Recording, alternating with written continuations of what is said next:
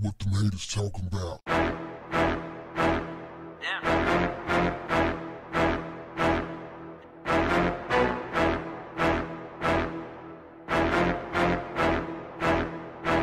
What's up, family? A 15 year old black girl from Pontiac, Michigan was sentenced to juvenile detention by Judge Mary Ellen Brennan, whom I'll henceforth refer to as Judge Mary Felon, for not completing her schoolwork. That's it, fam.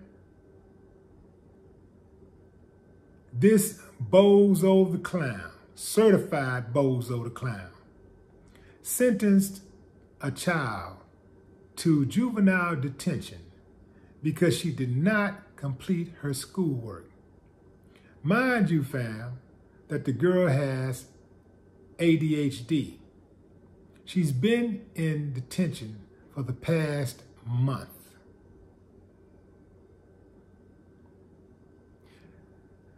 The judge says that she broke her probation. She violated probation. She was on probation for theft and assault. He says she hit her mother.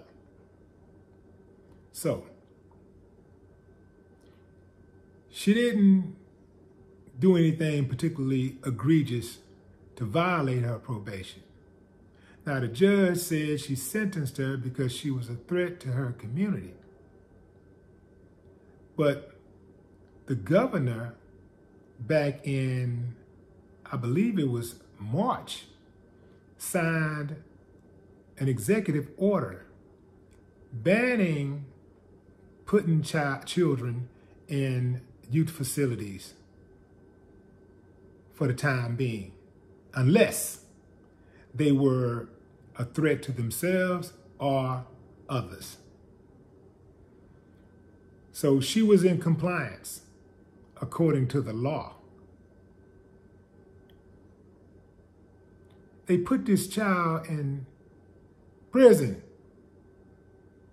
for not doing her schoolwork online. How in the hell do they enforce that anyway? Do you know how many kids who are behind right now? Teachers everywhere are saying these kids are behind online with their online studies. A lot of kids are finding it difficult to study online. They would rather a classroom setting. This is a kid who already has problems paying attention in a classroom setting. Now you're asking her to be attentive at home. This is a kid with ADHD. This judge needs to be investigated, prosecuted, disbarred. This is why you have this disproportionate amount of black people, black children in the system. Because you have these Karen types who will just totally ignore the humanity when it comes to black children. And they'll lock them up in a heartbeat, put a case on them in a heartbeat. Because they don't see our children as children. This is why when you walk into these courtrooms, you see all the black people, all the Mexican people. Same thing in prison.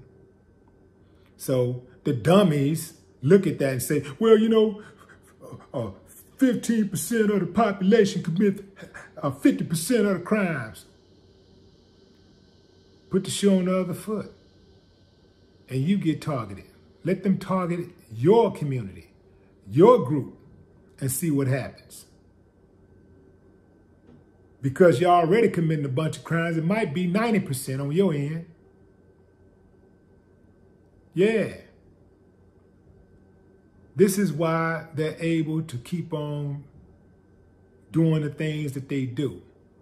These people got these positions of power, they got the authority vested in them by the United States government.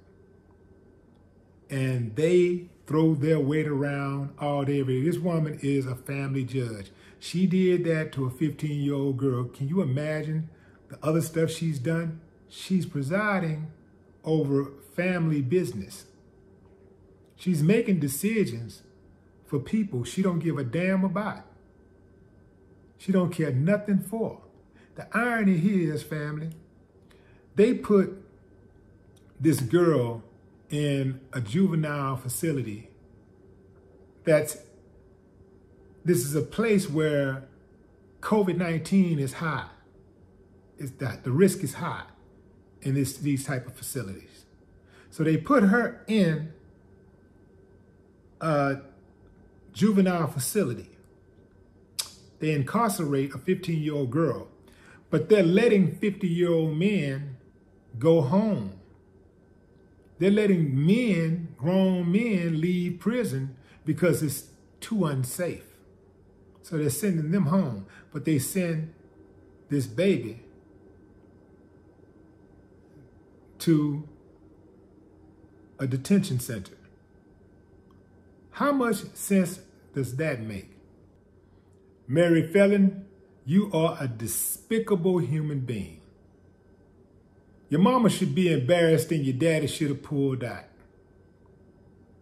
No more talk. What, the haters talking about?